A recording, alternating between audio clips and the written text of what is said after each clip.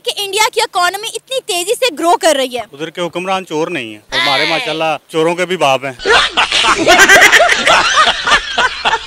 इसलिए हमारी इकोनॉमी आए रोज नीचे, और कारोबार तबाह, मीशत बल्कि बिल्कुल तबाह कुन हो चुकी है। ये भीख मांगने जाते हैं, वो चंदा दे देते हैं, खराब दे देते हैं, जैसे एक आम आदमी किसी मांगने वाले को दस, बीस रुपए दे देता है, और वो बड़ा एहसान करता है।